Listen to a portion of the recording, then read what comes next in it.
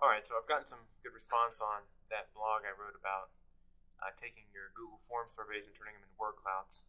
So I thought I'd do a little video just to kind of put the steps in order and get it out there for the visual people. Alright, um, first thing you need to do is create a form. And when you create the form, one of the suggestions I made was when you ask for responses, um, don't leave it like a free form paragraph type of thing because you really want to get like a focused hit on your words. And so I'd suggest, you know, I put three to five words here. Um, you might need five to ten, whatever is a good manageable number for you. So first create the form and uh, send that out to the people you need to respond. The next thing you do is uh, you start collecting responses. And uh, this is the sample. I've taken the names out of the students that, that gave these examples. But here are the responses um, in these two columns. And so what you're going to want to do here is you want to try and find some of the uh, topics that are aligned but might not be spelled all the same way. So the example I put in the blog was um, challenge or be challenged.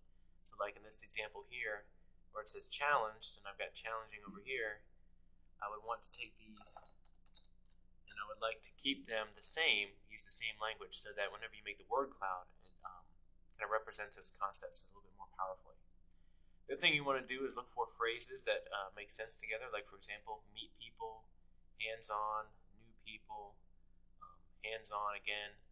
What you want to do is to prep it for Wordle use. You want to put this little um, symbol in between. I forget what that thing's called. Uh, but put that symbol between, and what that'll do is when you make the word cloud, Word Wordle will uh, recognize that as a phrase and keep it together and won't split it apart. All right, so you've got your responses here. You've got a bunch of responses, and you want to go ahead and put it into a word cloud.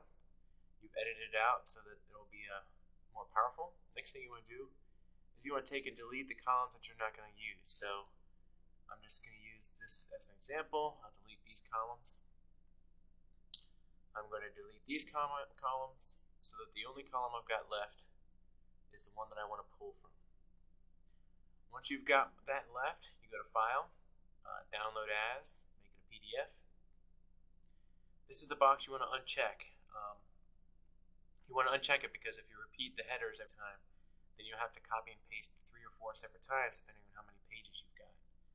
So uncheck that, it'll make it easier to copy and paste. Click Export, create a PDF for you. Uh, next you want to go ahead and get your Wordle started. So I'm just going to go here real quick, hit create. I've got a box to paste in.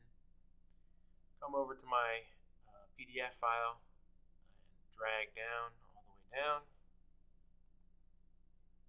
Once you get down to the bottom, uh, click copy.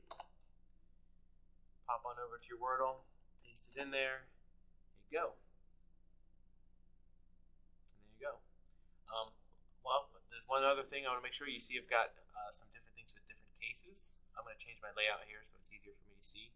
I've got learn and learn real big. So you want to go to language, click on this guess case for each word that'll make it a little bit more powerful. It'll combine those things that uh, may have been been uh, given in different cases at the beginning.